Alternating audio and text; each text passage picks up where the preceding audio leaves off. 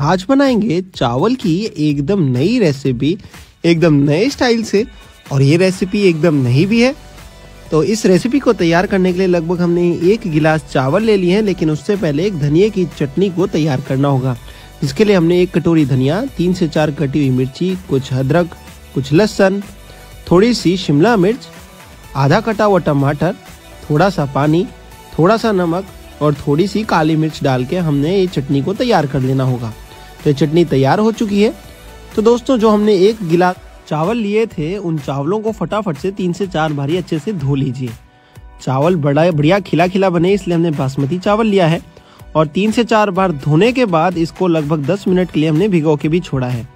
वहीं दूसरी तरफ़ एक कढ़ाई ले लेते हैं और उसमें थोड़ा सा ऑयल डाल लीजिए साथ ही में थोड़ी सी जीरा डाल लीजिए जीरे के साथ हम इसमें डालेंगे एक छोटी इलायची। साथ ही में काली मिर्च और लौंग। चार पाँच दाने ही, थोड़ी दालचीनी अगर आपको पसंद हो तो। एक डाल दीजिए तेज पत्ता, दो भाग करके हमने एक तेज पत्ता भी डाल रहे हैं।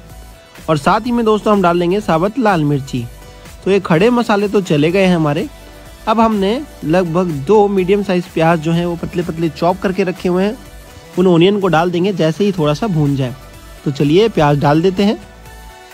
प्याज के साथ साथ दोस्तों हमने कुछ अन्य चीज़ें, ढेर सारी वेजीज डाली हैं। जो घर पे इजीली मिल जाती हैं। हमने डाले हैं फ्रेंच बीन्स हमने डाले हैं मटर।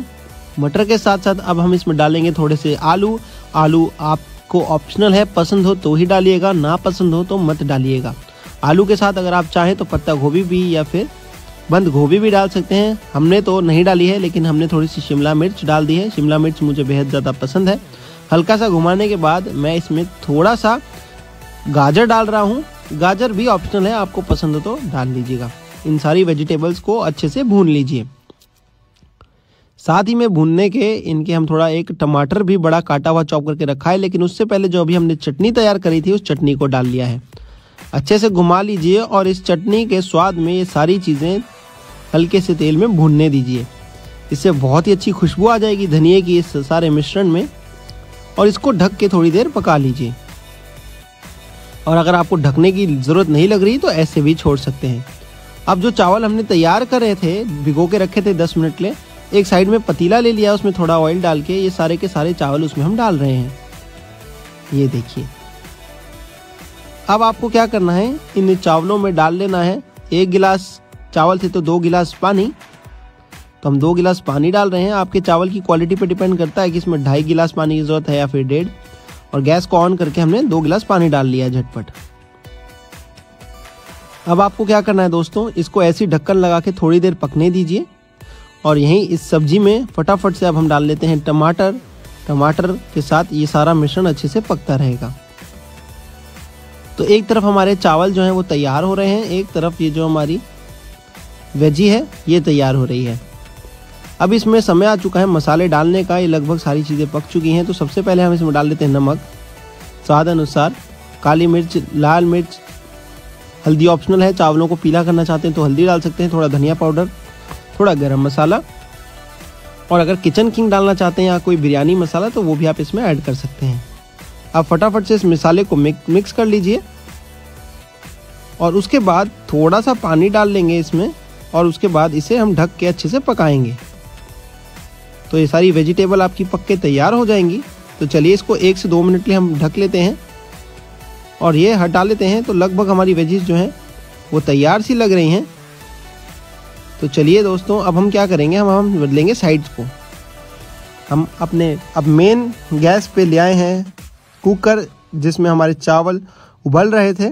तो अब आधे जैसे ही पानी उठ जाए, हम अपनी वेजिस को इसमें डाल लेंगे, सारी की सारी वेजिटेबल्स को। ये देखिए।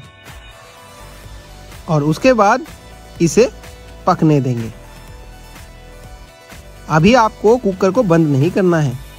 इसको, इसमें अच्छे से बॉयल होने दीजिए। इसके मसाले में इसके धनिए की खुशबू, खड़े मसालों की खुशबू वेजिटेबल्स की खुशबू, सारी की सारी चावल में आने दीजिए। आप इसको ऐसे ही थोड़ी देर बॉयल करते रहें। और एकदम एंड में जब पानी 90-80 परसेंट उठ जाए, तब हम सीटी दिलाएँगे, वो भी सिर्फ़ दो। ज़्यादा सीटियाँ नहीं दिलानी, क्योंकि पानी मैक्सिमम हमारा उठ चुका होगा और चावल पक चुके होंगे। तो आप देख सकते हैं दोस्तों, अब बस हम इसको सीटी दिलाएँगे फटाफट से। तो चलिए, ये सीटी दिला के कुछ ऐसे चावल हमारे को तैयार हो गई है दोस्तों, मस्त मिक्स वेजिटेबल बिरयानी, धनिया की चटनी वाली। और धनिया की जो खुशबू इसमें से आ रही है दोस्तों, मेरा दिल, मेरा मन सब कुछ मोह लिया है इस बिरयानी ने। मैं तो नहीं रुक पा रहा हूँ, इतनी ज़्यादा यमी लग रही है, मेरा मन कर रहा है, बस मैं इस पर टूट पड़ूँ। आपको कैसी लगी ये रेसिपी मुझे ज़रूर बताइएगा दोस्तों। हमारे इस वीडियो को ज़रूर शेयर कीजिएगा ताकि ये अच्छी और स्वादिष्ट बिरयानी हर कोई बना सके और खा सके। और ज़रूर ट्राई करके बताइएगा, मुझे मालूम है, जो भी इसे ट्राई करेगा, वो इसका दीवाना ज़रूर हो जाएगा। थोड़े से काजू के साथ गार्निश करेंगे। बस, समय आ गया है, इसे फटाफट से खा लेने क्योंकि मुँह में आ गया है बहुत ज़्यादा पानी। मैं चलता हूँ, आप और अपने परिवार का ख्याल रखें।